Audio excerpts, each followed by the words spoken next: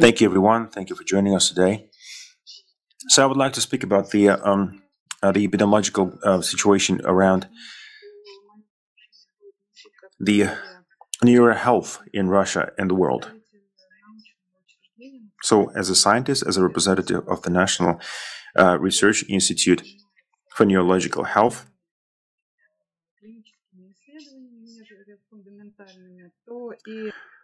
and uh, let me just right off the bat say that uh, we are mostly into applied scientists, science, of course, not not the fundamental science. So I'll speak about the actual situation on the ground, uh, in the applied areas, i.e., in a daily life.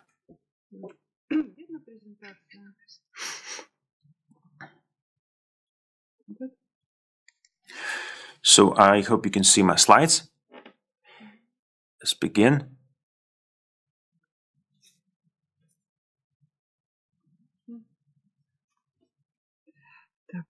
Хорошо, тогда пойдем таким образом. Коллеги, давайте сначала остановимся на понятии определения психического здоровья. So, first of all, let's define mental health uh, to begin with. Uh, let me spend just a couple of moments of my time just to give you definition, okay?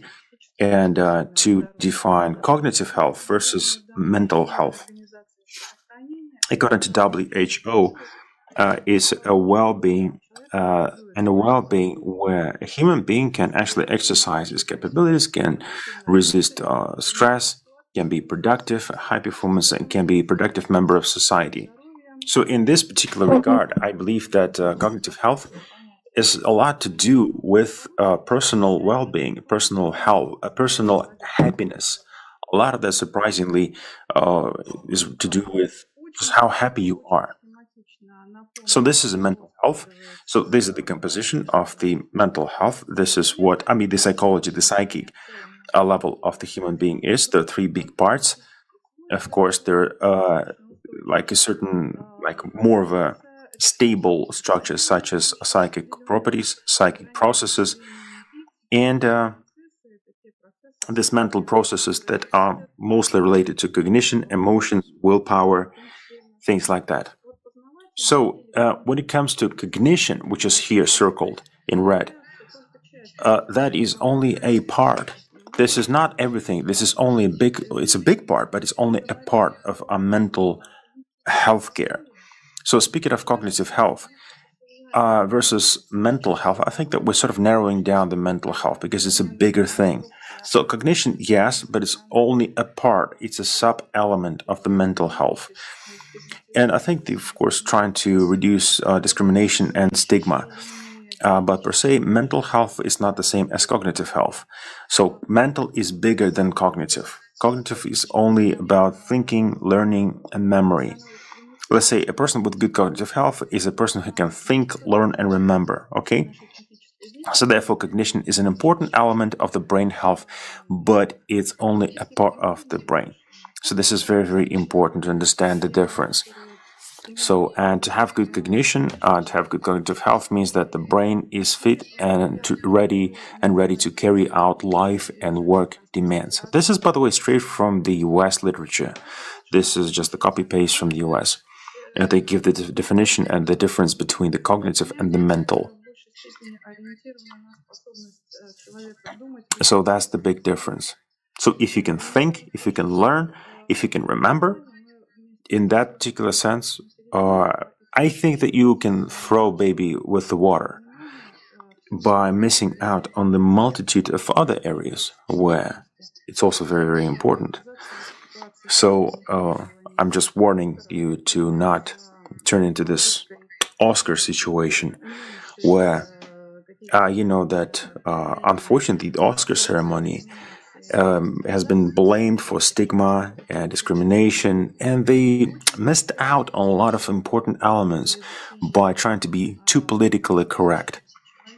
So when it comes to cognitive uh, function, so it should be just mechanistic. Uh, so of course, cognitive disorders have very clear clinical disorders, but we try to elevate ourselves to a high level. So mental health is, of course, an integral part of oral health. And if you look at the WHO 1948, it says that the mental health is a full physical, uh, spiritual, and social well being. So even if you have social mental issues, you can still be uh, mentally healthy in certain moments of your time. So it's not a permanent thing, it's not a constant.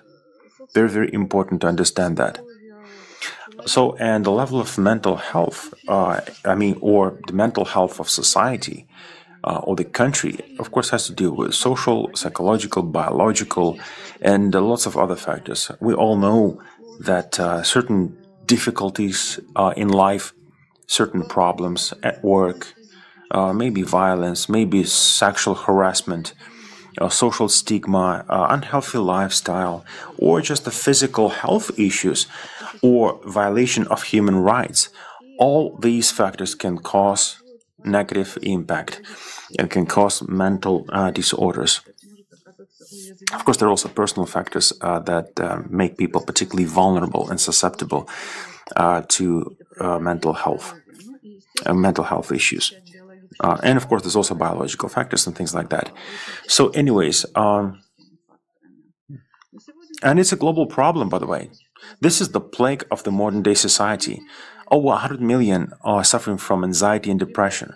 Over 21 million, million people suffer from alcohol related disorders. Uh, oh, this is Europe alone. The Europe alone, think about it. Out of 170 million people living in Europe, over 100 have anxiety and depression, 21 million suffer from alcohol related disorders, over 7 million people suffer from Alzheimer's and other types of dementia. So, over 4 million are schizophrenic, so 4 million bipolar, right, and bipolar related diseases, and another 4 million uh, uh, suffering from panic attacks. So there you go. You do the math. So basically, every fourth person in this that moment in your life are sort of is facing some sort of a cognitive and mental uh, issue. And according to WG, so this has to do with urbanization, uh, poor environment, so information uh, pressing, uh, technogenic uh, related things are also brain damage and uh, preborn uh, conditions.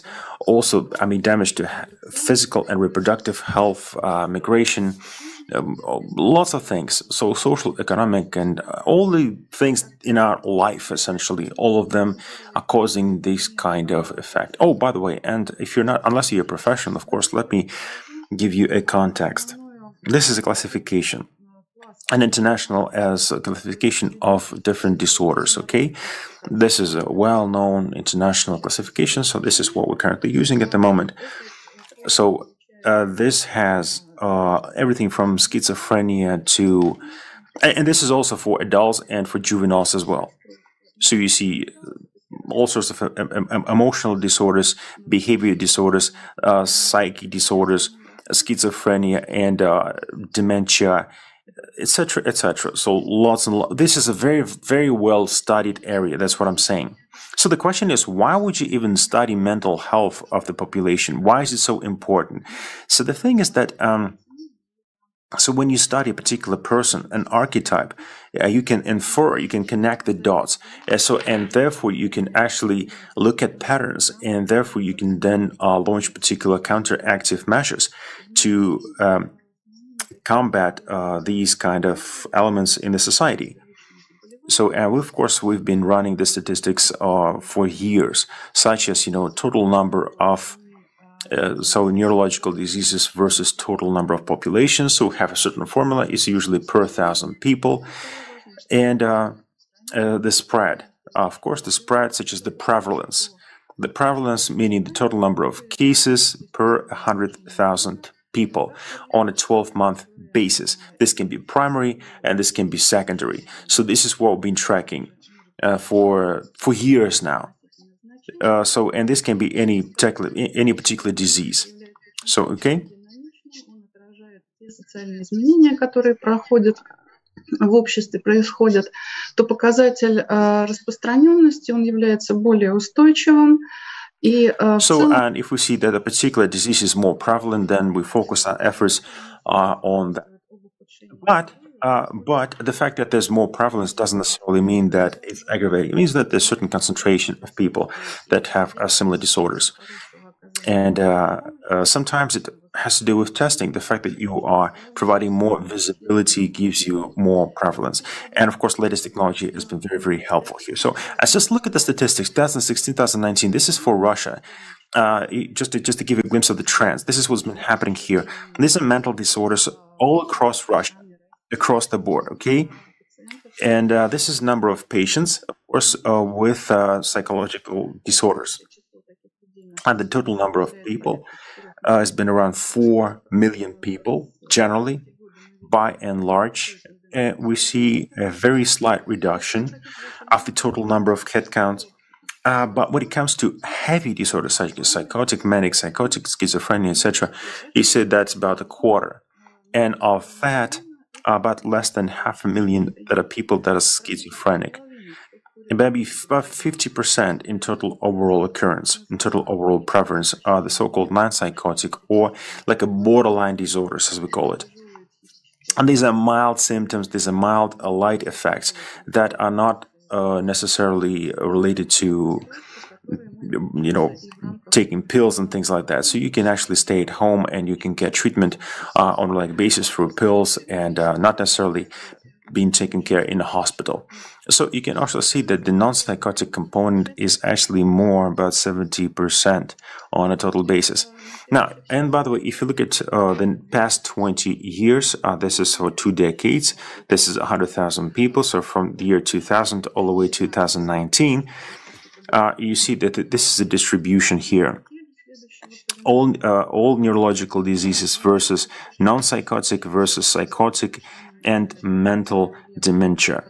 Uh, so you see these bars, and I see close to 2008 it was going up, up, up. Then you see a very, very slight reduction, very uh, gradual reduction. Then a bit of an elevation close to 2013. But other than that, uh, by and large, you don't see uh, any sharp spikes here, so more or less it's quite level. So it's been quite steady here. And uh, this trend is quite benign, generally speaking. So, and uh, uh, like I said, about 50% would be non, uh, non, so the so-called borderline cases, and some of the primary uh, mental disease. And uh, this a lot has to do with all the turbulence that's been happening in Russia since the 90s. You see the elevations, sharp spikes, of course, 2004. Clearly, the banking crisis. Uh, then, of course, we see a reduction, then a slight bump in 2008, and then you see again going up uh, a little bit. This is a primary cases. Uh, not surprisingly, of course, a lot of that has to do with the social tension and uh, all the struggles that are people coming through. So, I mean, there's a strong correlation here. And for us as clinical researchers, of course, uh, by and large, as far as uh, primary dementia, you see, by and large, the trend is quite casey, of course. And uh, as far as psychotics and mental dementia is flat. So, and this this this this gives us patterns.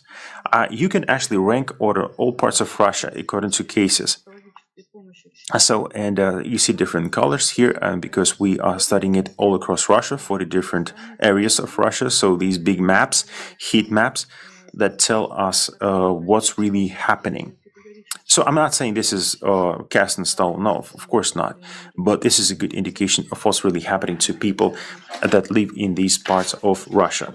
So, such as when it's too elevated, such as the Republic of Bashkortostan or the Nenetsk, which is the far uh, extreme north, or the Perm region. So, you see that uh, it's quite a spread, and uh, this is what we see in primary and secondary cases um, for 2019. You see very low uh, levels in the south, right? Uh, uh, northwest, also very low. It's not because uh, the overall situation is better. I guess it has to do with also testing and narcology related. of course, um, you also see the spread here. This is mostly alcohol and other psychoactive drugs. Uh, by the way, very similar, uh, very similar in terms of oral cases and uh, primary cases as well. This is narcology related to drugs and uh, substances of abuse. Now, I have to mention one thing. I have to mention one thing in terms of identification and testing. A lot of that has to do with technology, of course. The question is, do you have the right technology? Do you have the right tests? So we compared the northwest part and the North Caucasus different parts of Russia, the uh, north versus the south, and you see a level of technology. Uh, so, of course, in the northwest, they have two more 4.5 times better technology compared to the south because the south is usually southern republics. They've always been notoriously known for poor technology. So, you can definitely tell that. Um, your ability to test and therefore identify these cases is directly linked with uh, the availability of tools. Now, let's look at the global situation. Okay, this is a share of population with mental health and substance uh, use disorder. Okay, so different methodology has been used. Of course, there's no one single methodology, and there are very, very few research that uh, can give you sort of apples to apples a situation, but there have been multiple attempts like that. So uh, on this slide, you can see that uh, the darker the color, of course, uh, the more pronounced it uh, it is.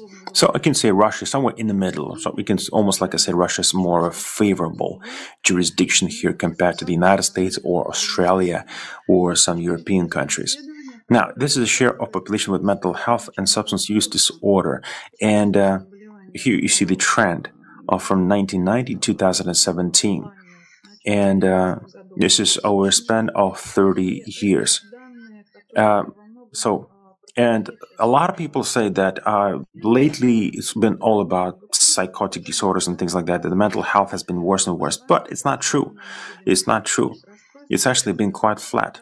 It's quite flat. And uh, at the same time, the WHO, uh, that this is a 17 different countries, so it gives you a 12 month basis in April 2009. You see quite a big distribution from the United States to Nigeria. Okay, there's what called mental health uh, differences, and of course, United States number one, running it uh, uh, with big lead, and uh, Nigeria is uh, the last. Well, there's nothing to get disordered about, I guess, in Nigeria. So, anyways, uh, similar this is still WHO. This is this from the United States to Nigeria. It's the same slide, but in numbers. Number of cases, of course, heavy cases versus light cases, and the number of psychiatrists, by the way. And despite the fact that some of these disorders are like psychotic, mental dementia, and things like that, that mean they're actually quite low percentages. So the bulk of these disorders I will call light cases or borderline cases, such as the person walking down the street, you wouldn't even know it. Okay. Um, and this is brand new.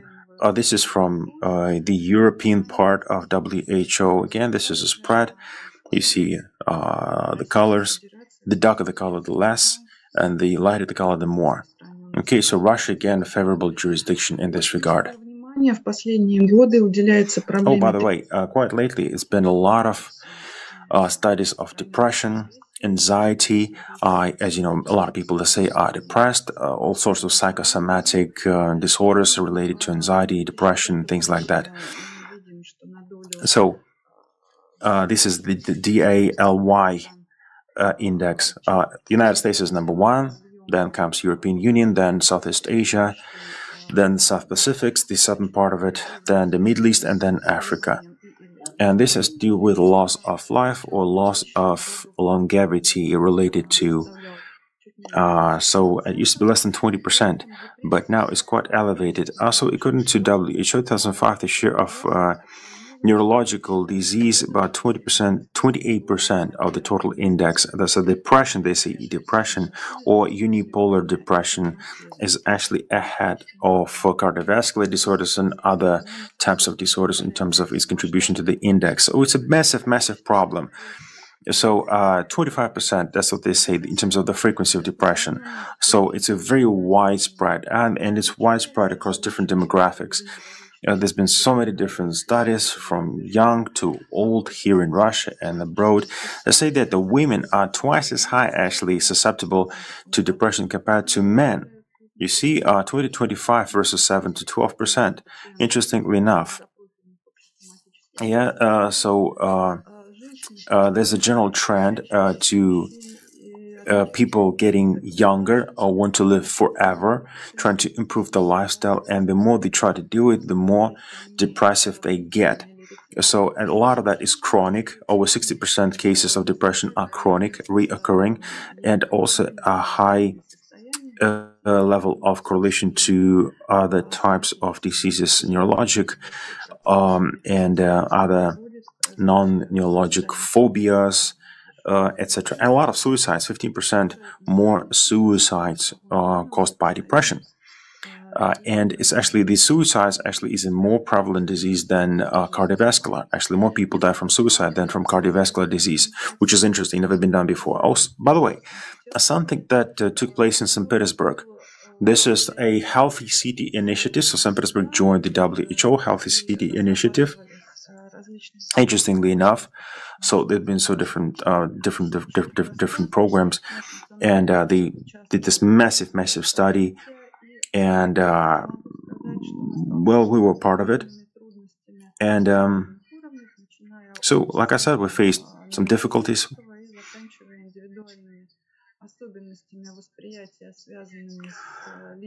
Uh, it has been a very, very wide-ranging study so from global social to humanitarian. Um, but by and large, you see that uh, the overall situation is uh, getting aggravated because there's so many different turbulences uh, in human life. So naturally, people get more depressed, they uh, become less sure, and they want to live better, they want to have certainty in their life. But it's a big, big problem it's such a multifaceted area. Uh, there's so much in between the lines, on the cusps between different sciences. Uh, it's a very, very difficult thing to unravel. So we don't have any coordination uh, project office you can call that would bring together multidisciplinary uh, professionals uh, to develop a particular program to to eliminate it. It's almost impossible. So all we can do is uh, highlight it and uh, show what's going on. But of course, mental health uh, is systemic. It's ultimately the glue the whole society together, and it's something that uh, will be the key study uh, for different types of sciences. And we need, of course, to bring together different professionals.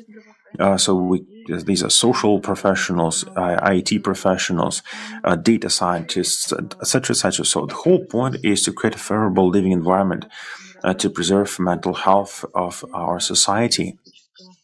And that's what it's all about: keeping our people healthy.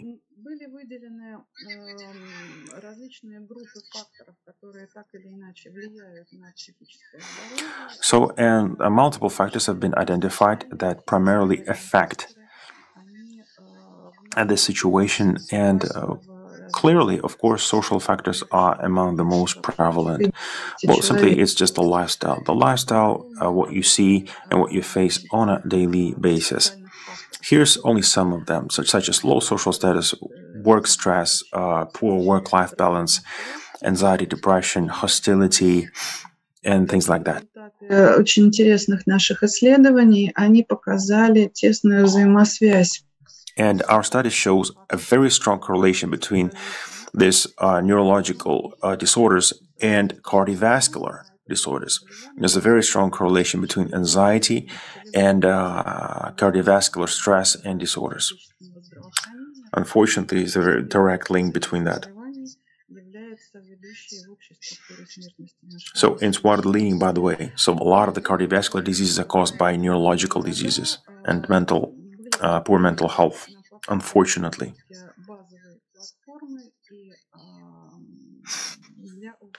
So we have the well, we've, we, we have tried to develop at least several big uh, programs to combat it.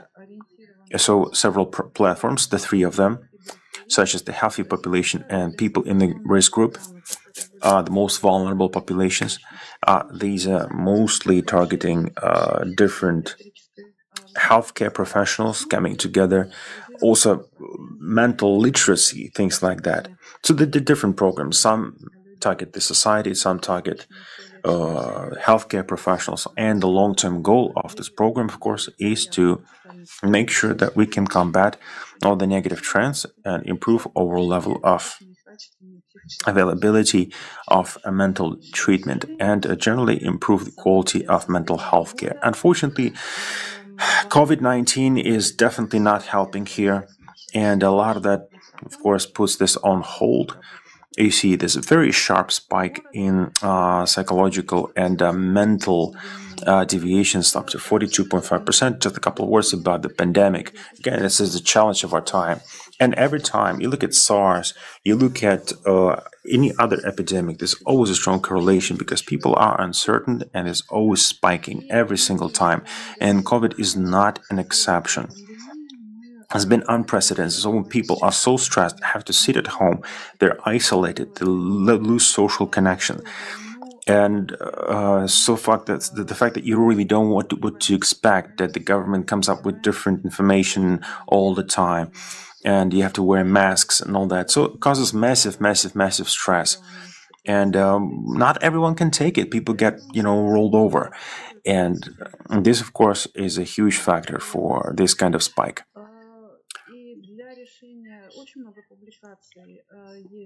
There's been multiple, multiple studies, short term and relatively long term. So we have enough statistics because it's been running for months more or less you can see what's been happening here. You can see correlation, of course. People are stressed, and uh, for sure, some of them turn to drugs, to alcohol, to other uh, substances of abuse. Uh, of course, we need to come together. We need to combat this because this is long-term damage to the mental health of society. So, by the way, we had our own study. We had these are the scientists, so we published it later this uh, spring. We also did social demographic studies. So about 2,000 uh, people participated, so average age from 31 plus minus 12. And uh, men versus women, you see 84% were women, 16% uh, were men.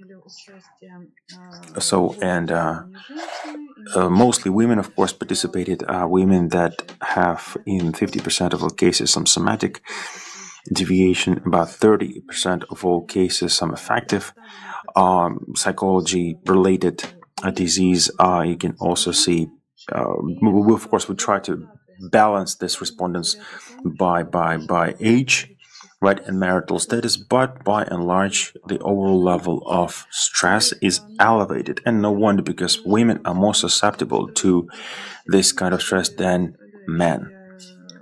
And these are mostly people that are mostly have some sort of affective memory related disorders. Also, young people, are unemployed, uh, single, unmarried, uh, without higher education, and women. So, women are more susceptible to this stuff and the overall, uh, the, the by and large, the overall majority had, of course, coeluting factors. So it's not like only one thing. They had several elements going at the same time. And mostly anxiety and disorder, of course, such as a lack of drugs, uh, availability and the risk of isolation, a lack of job, and things like that. Mostly, of course, about the uncertainty of this life. And Dmitry already mentioned uh, the impact of social isolation on mental health, the fact that we are hardwired to be social creatures and our results actually mimic it. So you see Moscow, St. Petersburg, etc., see how many cases we have and uh, the level of diseases per uh, 100,000 people. So there's a direct correlation between people sitting at home and being isolated to being anxiety prone and uh, uh overall level of stress. So overall, like I said, each and every single time we have some sort of an epidemic, like in case of SARS, for instance, there's always spiking. So always spiking. So pandemic and psychic health are always related, mostly causing depression, anxiety, uh, because people are unsure what to do. And uh, I might say that. Uh, uh, so of course, I mean, we still haven't yet received the full impact of COVID nineteen but uh, for sure, uh, it's it's a new thing and uh, in many ways an unprecedented way. But certain things are universal, and the effect will be, of course, significant. Effect will be significant, and like I said, uh, we shouldn't just think about direct help to society in terms of money, but also in terms of their mental health. We need to support uh, people, help them survive, help them, uh, you know, maintain their mental health in this very, very unfavorable environment. Uh, and this particularly goes to physicians and uh, people related to healthcare that are contacting uh, these people in the first place. And there has to be a multidisciplinary study because COVID 19 has touched so many lives in so many different sectors.